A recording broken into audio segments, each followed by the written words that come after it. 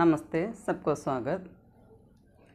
ഇന്ന് നമ്മൾ പത്രലേഖനമാണ് എടുക്കുന്നത് ലെറ്റർ റൈറ്റിങ് എന്താണ്? നമ്മൾ സാധാരണ ഇന്നത്തെ കാലത്ത് ലെറ്റർ റൈറ്റിംഗ് ഒന്നും ആർക്കും പതിവില്ലാത്തതാണ് അപ്പോൾ നമ്മൾ സൗകര്യങ്ങൾ കൂടി കഴിഞ്ഞപ്പോൾ ലെറ്റർ എഴുതുന്ന പരിപാടിയൊക്കെ നിർത്തിയൊരവസ്ഥയിലാണ്. പക്ഷേ പണ്ടത്തെ കാലത്ത് നമ്മൾ ആശയവിനിമയത്തിനായിട്ട് നമ്മൾ ഉപയോഗിച്ചിരുന്നൊരു മാധ്യമമാണ് ലെറ്റർ അപ്പോൾ വളരെ അകലെ ജോലി ചെയ്യുന്ന ആളുകൾക്കൊക്കെ നമ്മൾ ലെറ്റർ എഴുതിയിട്ടാണ് അവിടുത്തെ ഇവിടുത്തേക്ക് വിശേഷങ്ങൾ ലെറ്ററിൽ കൂടിയാണ് നമ്മൾ അറിഞ്ഞിരുന്നത്. അന്നത്തെ കാലഘട്ടത്തിൽ അങ്ങനെയായിരുന്നു. ഈ ഫോൺ തുടങ്ങിയ സൗകര്യങ്ങളൊന്നും അന്ന് ഉണ്ടാ ഉണ്ടായിരുന്നില്ല. ഇപ്പോൾ പത്രലേഖനം എന്ന് പറയുന്നത് നമ്മുടെ നമുക്ക് പരീക്ഷയ്ക്ക് വരുന്നൊരു ഭാഗമാണ്. എന്താണ് ലെറ്റർ റൈറ്റിംഗ് എന്ന് പറഞ്ഞു കഴിഞ്ഞാൽ അത് എത്ര തരത്തിലുണ്ട് നമ്മൾ എപ്പോഴാണ് എന്തിനാണ് അത് ഉപയോഗിച്ചിരുന്നത് ഓരോന്നും എങ്ങനെയാണ് എഴുതേണ്ടത് തുടങ്ങിയ കാര്യങ്ങളാണ് നമ്മളിതിൽ പഠിക്കുന്നത്. അപ്പോൾ അതിൽ ലെറ്റർ എഴുതാനായിട്ട് നമുക്ക് അഞ്ച് മാർക്കിന്റെ അല്ലെങ്കിൽ പത്ത് മാർക്കിന്റെ ചോദ്യമായിട്ട് ചോദിക്കാവുന്നതാണ്. അതുപോലെ അതുപോലെ തന്നെ വിഭിന്ന പ്രകാർ പത്ര ചോദിക്കാവുന്നതാണ്. അല്ലെങ്കിൽ വ്യാവസായിക് പത്രം എന്താണ് രണ്ട് മാർക്കിന്റെ ചോദിക്കാം പാരിവാരിക പത്രം എന്താണ് അങ്ങനെയുള്ള ചോദ്യങ്ങൾ നമുക്ക് ഈ ഭാഗത്തു നമുക്ക് വരുന്നതാണ്. അപ്പോൾ പത്രലേഖനം എന്ന് പറഞ്ഞാൽ എന്താണ്? പത്രലേഖൻ അസൽ മേം ഏക്ക് കലാഹെ ലെറ്റർ റൈറ്റിംഗ് എന്ന് പറയുന്നത് ശരിക്കും ഒരു കലയാണെന്നാണ് പറയുന്നത് വാസ്തവത്തിൽ असल में पत्र लेखन एक कला है यह मानव सभ्यता के विकास की एक महत्वपूर्ण उपलब्धि है നമ്മുടെ മാ മാനവ സംസ്കാരത്തിൻ്റെ പുരോഗതിയുടെ വളരെ മഹത്വപൂർണ്ണമായിട്ടുള്ള ഒരു നേട്ടം തന്നെയാണ് ഇതെന്ന് പറയുന്നത് ഏത് പത്രലേഖൻ എന്ന് പറയുന്നത് അപ്പം मानव सभ्यता के विकास की एक महत्वपूर्ण उपलब्धि है पत्रलेखन मानव के सामाजिक जीवन में पत्र व्यवहार का महत्वपूर्ण स्थान है ഇപ്പം മനുഷ്യൻ്റെ സാമൂഹിക ജീവിതത്തിൽ അതായത് സൊസൈറ്റി ആയിട്ട് ആ, മനുഷ്യൻ ആ, സാമൂഹിക ജീവിയാന്ന് പറയുന്നുണ്ട് സൊസൈറ്റി ആയിട്ട് ജീവിക്കുന്നവരാണ് അതുകൊണ്ട് തന്നെ സാമൂഹിക ജീവിതത്തിൽ നമ്മൾ കറസ്പോണ്ടൻസ് എന്ന് പറയുന്നത് അല്ലെങ്കിൽ ലെറ്റർ റൈറ്റിങ്ങിന് വളരെ ഇമ്പോർട്ടൻ്റ് ആയിട്ടുള്ളൊരു സ്ഥാനം തന്നെയാണ് ഉള്ളത് सामाजिक प्राणी होने के कारण मनुष्य अपने हाव भावों तथा विकार विचारों को दूसरों के सामने പ്രകട് കർത്താരത്താഹി രഹത്ത അപ്പം മനുഷ്യനൊരു സാമൂഹിക ജീവി ആയത് കാരണം man is a social animal എന്ന് പറയും സോഷ്യൽ ബീയിങ് സോഷ്യൽ എനിമൽ അപ്പോൾ മനുഷ്യനൊരു സാമൂഹിക ജീവി ആയതുകൊണ്ട് തന്നെ ആ ഒരു കാരണം കൊണ്ട് മനുഷ്യപ്പിനെ ഹാവഭാവം മനുഷ്യൻ അവരുടെ ഭാവങ്ങൾ അവരെ വികാർ വിചാരമൊക്കെ വികാരങ്ങൾ വിചാരങ്ങൾ ഇതെല്ലാം ദൂസറോം സാമ്നെ സാമനെ മറ്റുള്ളവരുടെ മുന്നിൽ കർത്താരത്താഹേ പ്രകടമാക്കുന്നുണ്ട്. അപ്പോൾ നമ്മുടെ ഉള്ളിലെ വികാരങ്ങളും വിചാരങ്ങളും നമ്മുടെ ഭാവങ്ങളൊക്കെ വ്യക്തമാക്കാനായിട്ട് ഉപയോ നമ്മൾ ഉപയോഗിക്കുന്ന ഒരു മാധ്യമമാണ് ലെറ്റർ എന്ന് പറയുന്നത്. കാരണം മനുഷ്യനൊരു സാമൂഹിക ജീവിയാണ്. അപ്പോൾ അവനെ വിചാരങ്ങളും വികാരങ്ങളോ ഭാവങ്ങളോ ഇതെല്ലാം ഉണ്ട്. അത് മറ്റുള്ളവരുടെ മുന്നിൽ അത് പ്രകടമാക്കുകയാണ് ചെയ്യുന്നത്. ദൂരസ്ഥ വ്യക്തിയൊക്കെ സാത്ത് ഇസ് പ്രകാർ കെ आदान प्रदान के लिए एक माध्यम के रूप में पत्र व्यवहार का अपना विशेष स्थान है അപ്പോൾ വളരെ അകലെ ആയിരിക്കുന്ന ആളുകളുടെ അടുത്ത് ഇതുപോലെയുള്ള കൊടുക്കലും വാങ്ങലും ഗിവ് ആൻഡ് ടേക്ക് അതായത് ലെറ്റർ അങ്ങോട്ട് അയക്കുന്നു തിരിച്ചിങ്ങോട്ട് അയക്കുന്നു അപ്പോൾ ഇത് നടക്കുന്നത് അതായത് വളരെ അകലെയുള്ള ആളുകളുമായിട്ട് നമ്മൾ കാര്യങ്ങൾ മനസ്സിലാക്കാനായിട്ട് അല്ലെങ്കിൽ അറിയാനായിട്ട് ഈ ലെറ്റർ എന്ന് പറയുന്ന മാധ്യമമാണ് നമ്മൾ ഉപയോഗിച്ചിരുന്നത്. ഇപ്പോൾ ദൂരസ്ഥ അതായത് ഒരു ഒരുപാട് ആളുകൾ വിദേശ രാജ്യങ്ങളിൽ അതുപോലെ തന്നെ മറ്റു സംസ്ഥാനങ്ങളിലൊക്കെ ജോലി ചെയ്യുന്നുണ്ട്. വീട്ടിലെല്ലാവരും ഉണ്ടാവണമെന്നില്ല. അപ്പോൾ ആ സമയത്ത് നമ്മൾ ആശയവിനിമയം നടത്താനായിട്ട് കാര്യങ്ങൾ മനസ്സിലാക്കാനായിട്ട് നമ്മൾ ഉപയോഗിച്ചിരുന്നത് ലെറ്ററാണ് കത്ത് മുഖേനയാണ് കാര്യങ്ങൾ നമ്മൾ പ്രകടമാക്കിയിരുന്നത്.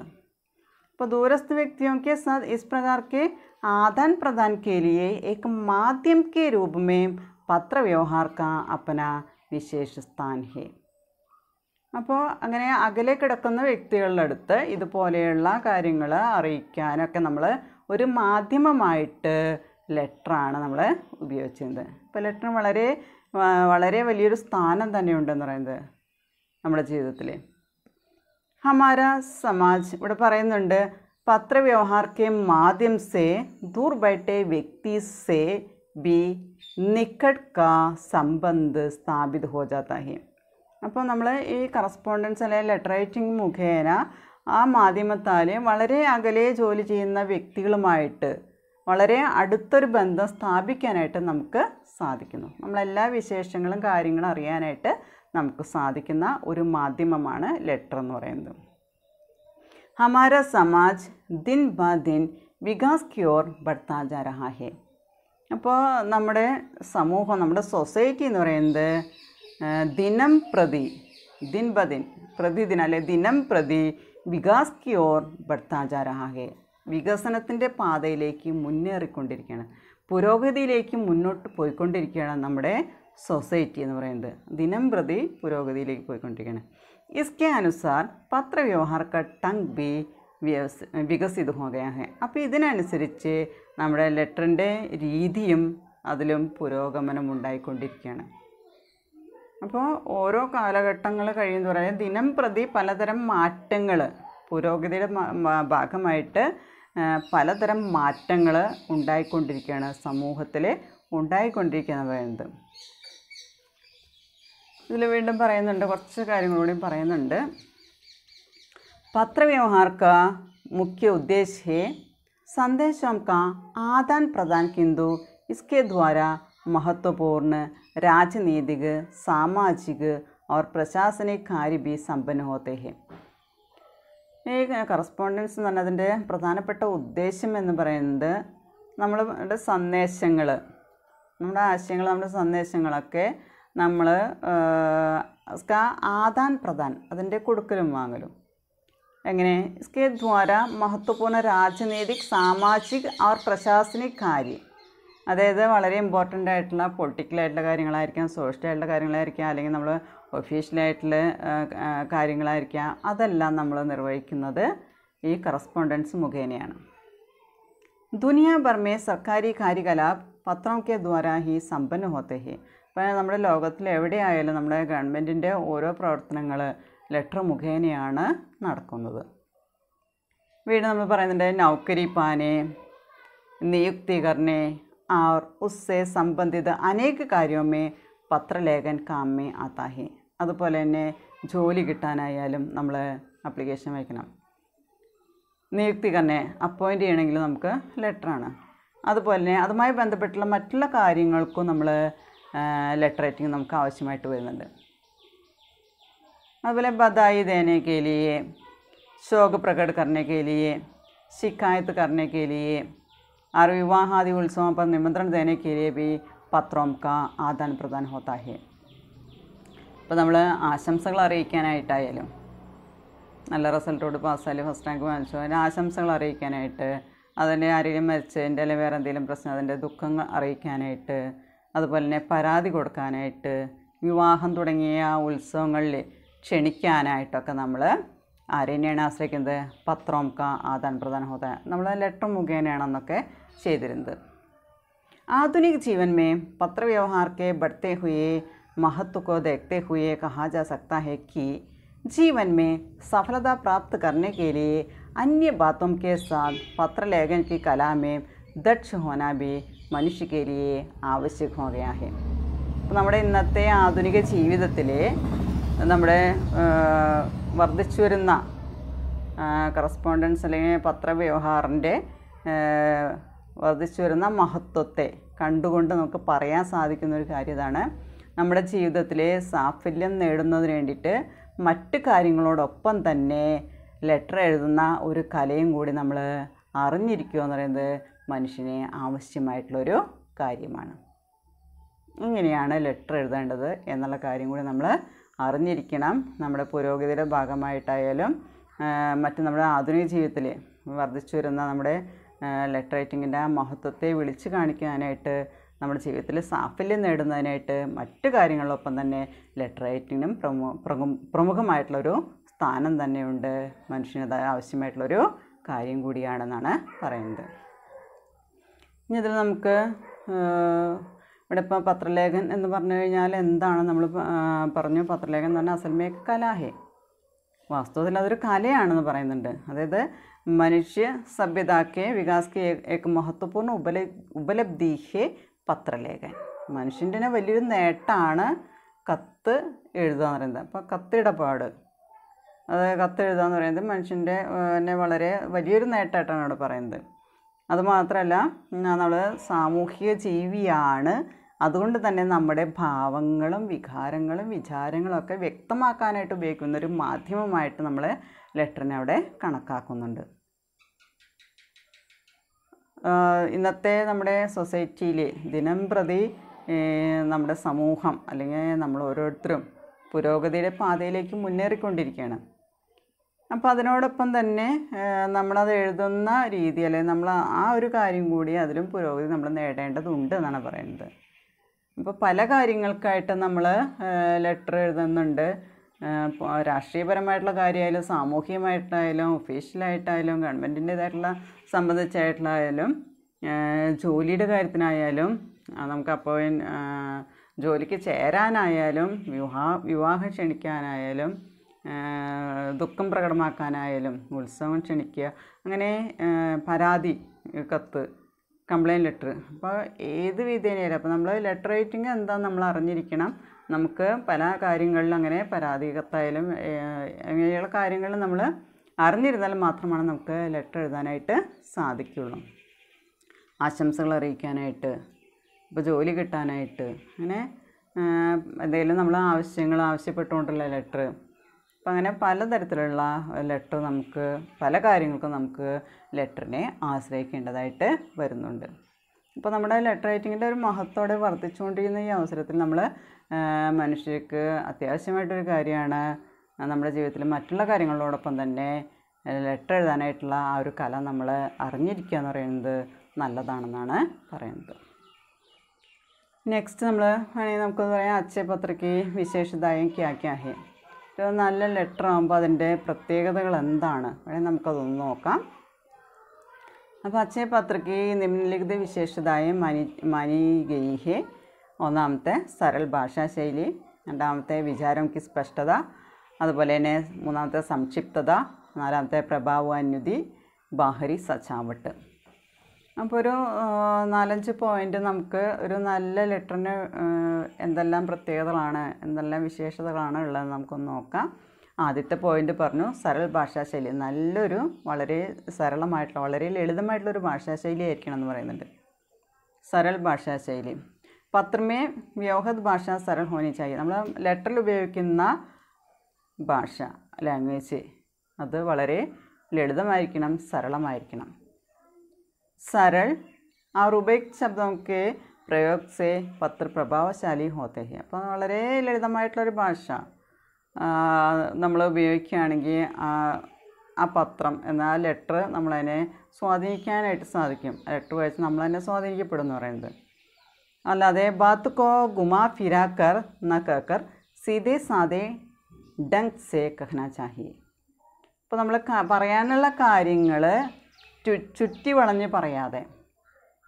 നമ്മൾ വളഞ്ഞ് മൂക്ക് പിടിക്കുക അല്ലെങ്കിൽ ഒരുപാട് ചുറ്റി വളച്ച് നീട്ടിപ്പരത്തി പറയുന്നതിന് പകരം സീതേ സാതേ ടങ്സേ കഹന ചെയ്യുക അത് നേരായ രീതിയിൽ ചുറ്റി വളയണ്ട വളരെ ലളിതമായ രീതിയിൽ നേരായ രീതിയിൽ അത് പറയണം എന്നാണ് പറയുന്നത്. അതാണ് സരൽ ഭാഷാ ശൈലി. പിന്നെ അടുത്ത് നമ്മൾ പറയുന്നത് വിചാരം സ്പഷ്ടത. നമ്മൾ എന്ത് കാര്യമാണോ പറയുന്നത് അത് വളരെ വ്യക്തമായ രീതിയിലായിരിക്കണം പറയേണ്ടത്. पत्र में अभिव्यक्त विचार സുസ്പഷ്ട ഹോന ചാഹിയെ അത് നമ്മൾ ലെറ്ററിൽ വ്യക്തമാക്കുന്ന കാര്യം വളരെ സ്പഷ്ടമായിരിക്കണം നമുക്കത് വായിച്ചാൽ മനസ്സിലാകുന്ന ഒരു രീതിയിലായിരിക്കണം ലെറ്റർ എഴുതേണ്ടത് നെക്സ്റ്റ് സംക്ഷിപ്തത അതായത് ഒരുപാട് നീട്ടി വലിച്ച് എഴുതേണ്ട ആവശ്യമില്ല ചുരുക്കി എഴുതുക സംക്ഷിപ്തത ചുരുക്കി എഴുതുക പത്രമേ വിസ്തൃത വിവരൺ അതിശയോക്തി ആദി के लिए സ്ഥാൻ നഹി ഹോന ചാഹിയെ അപ്പോൾ നമ്മൾ ലെറ്റർ എഴുതുമ്പോൾ വളരെ വിശാലമായിട്ട് വിവരിച്ച് എഴുതേണ്ട ആവശ്യമില്ല അതുപോലെ അതിശയോക്തി തുടങ്ങിയ കാര്യങ്ങളൊന്നും ലെറ്ററിൽ വെക്കേണ്ട കാര്യം ഇല്ല അപ്പോൾ നീട്ടിപ്പരത്തി ഒരുപാട് നീണ്ട കഥ എഴുതുന്നത് പോലെ ലെറ്റർ എഴുതണ്ട വളരെ ചുരുക്കി വേണം എഴുതേണ്ടത് ഏക്ക് ഈ ബാത്ത് കോ ബാർ ബാർ ദോഹരാന ടിക് നഹി. അത് ഒരു കാര്യം തന്നെ വീണ്ടും വീണ്ടും ആവർത്തിച്ച് വരുന്നത് ശരിയായ കാര്യമല്ല. മുഖ്യ ബാത്തേം ആരംഭമേഹി ലിഖി ജാനി ചാഹി. പ്രധാനപ്പെട്ട കാര്യങ്ങൾ നമ്മൾ തുടക്കത്തിൽ തന്നെ എഴുതണം എന്ന് പറയുന്നത്. അല്ലാതെ കുറേ കഥ പറഞ്ഞ അവസാനം ആ പോയിന്റിലേക്ക് എത്തല്ല വേണ്ടത്. പ്രധാനപ്പെട്ട കാര്യം നമ്മൾ ആദ്യം തന്നെ എഴുതണം.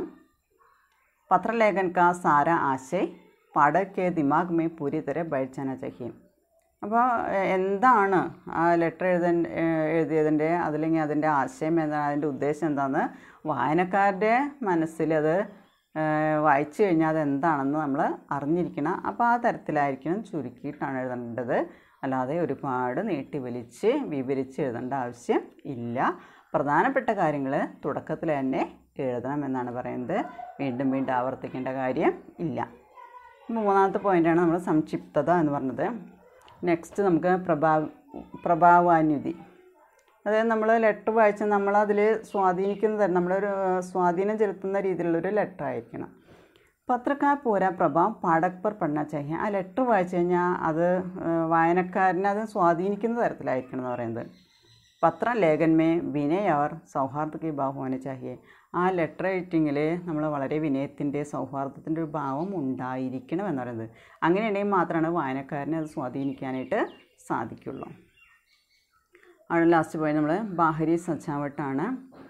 നമ്മൾ ലെറ്റർ എഴുതാൻ ഉപയോഗിക്കുന്ന പേപ്പർ അത് വൃത്തിയുള്ളതായിരിക്കണം നല്ല ഹാൻഡ് റൈറ്റിംഗ് ആയിരിക്കണം. അതേപോലെ ഫുൾ സ്റ്റോപ്പ് ഇടേണ്ടടുത്ത് അത് കോമ ഇടേണ്ടടുത്ത് കോമ തുടങ്ങിയ കാര്യങ്ങളൊക്കെ നമ്മൾ കൃത്യമായിട്ട് പാലിക്കണം. ബാഹിരി സജാവട്ടിൽ വരുന്നത് അച്ചാ കാഗസ് സുന്ദർ ഔർ സാഫ് ലിക്കാവട്ട് വിരാമാദി ചിഹ്നവും കാ യഥാസ്ഥാന പ്രയോഗ ആദി ബാഹിരി സജാവട്ട് കെ അന്തർഗത് അദ്ദേഹം. അപ്പം നമ്മൾ പുറത്ത് ഒരു അലങ്കാരം അല്ലെങ്കിൽ പുറമേയുള്ള ഒരു ഡെക്കറേഷൻ എന്ന് പറയുന്നത് അതായത് നല്ല കടലാസായിരിക്കണം നല്ല സുന്ദരമായിട്ടുള്ള അല്ലെങ്കിൽ വളരെ വൃത്തിയുള്ളൊരു ഹാൻഡ് റൈറ്റിംഗ് ആയിരിക്കണം. എന്താ കറകറാന്ന് എഴുതി വെച്ച് കഴിഞ്ഞാൽ വായിക്കാൻ പറ്റാത്ത രീതിയിൽ എഴുതി വെച്ച് കഴിഞ്ഞാൽ അതാർക്കും വായിക്കാൻ തോന്നില്ല. അപ്പോൾ അതുകൊണ്ട് നല്ല ഹാൻഡ് റൈറ്റിംഗ് ആയിരിക്കണം. വിരാമാതി ചിഹ്നമൊക്കെ യഥാസ്ഥാൻ പ്രയോഗം. അതായത് കോമ വേണ്ടടുത്ത് കോമ ഫുൾ സ്റ്റെപ്പ് വേണ്ടടുത്ത് ഫുൾ സ്റ്റെപ്പ് തുടങ്ങിയ കാര്യങ്ങൾ നമ്മളവിടെ പ്രയോഗിക്കണം. ഇതെല്ലാമാണ് അതിന്റെ ബാഹ്യ സജാവിന്റെ ഉള്ളിൽ ഉൾപ്പെടുന്നത്. അതുപോലെ തന്നെ വിഷയം വസ്തുക്കെ അനുപാതമേ പത്രക്ക കാഗസ് ലംബ ചവിട ഹോന ചാഹി. അപ്പോൾ നമ്മൾ കണ്ടന്റ് അനുസരിച്ച് എന്താണ് നമ്മൾ എഴുതാൻ ഉദ്ദേശിക്കുന്ന വിഷയത്തിനനുസരിച്ച് ലെറ്റർ എഴുതുന്ന കടലാസ് ലംബ ചവട വരെ നീളം വീതിയുള്ളതായിരിക്കണം. ശീർഷക് തിഥി അഭിവാദൻ അനുച്ഛേദ് അവർ അന്ത് അപ്പനെ അപ്പനെ സ്ഥാൻ പർ ക്രമാനുസാർ ഹോനെ ചാഹിയെ. അപ്പോൾ ഹെഡിങ് ആയാലും ഡേറ്റ് ആയാലും അഭിവാദനം ചെയ്യുന്നതായാലും പാരഗ്രാഫ് ആയാലും അവസാനമായാലും അത് ഓരോന്നും അതതിന്റെ സ്ഥാനത്ത് ക്രമമനുസരിച്ച് എഴുതണം എന്നാണ് പറയുന്നത്. അല്ലാതെ ഡേറ്റ് എഴുതേണ്ടടുത്ത് പോയിട്ട് കണ്ടന്റ് എഴുതിയാൽ ശരിയാവില്ല അഭിവാദം ചെയ്യുന്നിടത്ത് അവസാനം എഴുതിയാൽ ശരിയാവില്ല. അപ്പോൾ ഓരോന്നും അതിന്റേതായ രീതിയിൽ ഒരു ഓർഡർ ഉണ്ട്. ആ ഓർഡറിനനുസരിച്ചാണ് നമ്മൾ എഴുതേണ്ടത്. അങ്ങനെയാണെങ്കിലാണ് ലെറ്റർ കാണുമ്പോൾ തന്നെ ഒരു വൃത്തി ഉണ്ടാവുള്ളൂ വായിക്കുന്നവരെയും സ്വാധീനിക്കാനായിട്ട് സാധിക്കുള്ളൂ എന്നാണ് പറയുന്നത്. അപ്പോൾ അവിടെ പത്രലേഖനിൽ അച്ചയപത്രയ്ക്ക് വിശേഷതായ എന്ന് പറഞ്ഞാൽ നല്ലൊരു ലെറ്ററിന് വേണ്ട സ്പെഷ്യാലിറ്റി അല്ലെങ്കിൽ പ്രത്യേകതകൾ എന്താണ് എന്നുള്ളതാണ് ഒന്നാമത്തെ വളരെ സരളമായ ഭാഷാശൈലി സരൾ ഭാഷാശൈലിയാണ് രണ്ടാമത്തെ വിചാരമുക്കി സ്പഷ്ടത മൂന്നാമത്തെ സംക്ഷിപ്തത ചുരുക്കി എഴുത നാലാമത്തെ പ്രഭാവാന്യുതി അഞ്ച് ബാഹരി സച്ചാവട്ട്.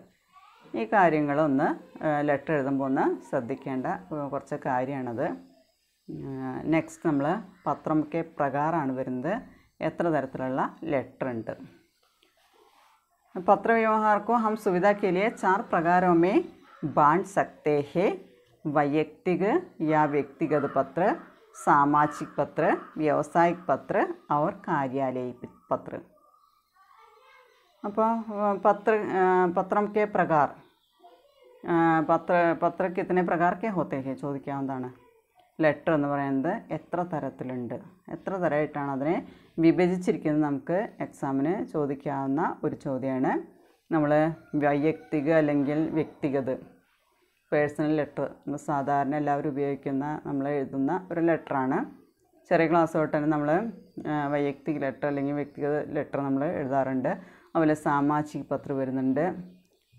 കൊമേഴ്സ്യൽ ലെറ്റർ വ്യാവസായിക പത്രമുണ്ട്. അതുപോലെ ഒഫീഷ്യൽ ലെറ്റർ ഇതാണ് നാല് പ്രധാനപ്പെട്ട തരത്തിലുള്ള നാല് തരത്തിലുള്ള ലെറ്റർ എന്ന് പറയുന്നത് പത്രവ്യവഹാരത്തിൽ വരുന്നത്. അത് നമ്മൾ വൈയക്തിക എന്ന് പറഞ്ഞാൽ നമ്മൾ വ്യക്തികൾ എഴുതുന്നതാണ്. വ്യക്തിപരമായിട്ട് എഴുതുന്നത്. വ്യക്തിഗത അല്ലെങ്കിൽ വൈയക്തിക അല്ലെങ്കിൽ നിജി എന്നൊക്കെ പറയും. പേഴ്സണലായിട്ട് നമ്മൾ ഫ്രണ്ട്സിന് എഴുതുന്നു. ആ, സഹോദരന് എഴുതുന്നു സഹോദരിക്ക് എഴുതുന്നു അതുപോലെ തന്നെ അച്ഛന് അമ്മയ്ക്ക് തുടങ്ങിയ അങ്ങനെ പേഴ്സണലായിട്ട് നമ്മൾ വ്യക്തിപരമായിട്ട് നമ്മൾ എഴുതുന്ന ലെറ്ററാണ് നമ്മൾ വൈയക്തിക ലെറ്റർ എന്ന് വൈയക്തിക പത്രം എന്ന് പറയുന്നത്. അപ്പോൾ നമ്മൾ ലെറ്റർ റൈറ്റിങ്ങിന്റെ ലെറ്റർ എത്ര തരം ഉണ്ടെന്നുള്ളത് നമുക്ക് അടുത്ത ക്ലാസ്സിൽ നമുക്ക് നോക്കാം. Okay thank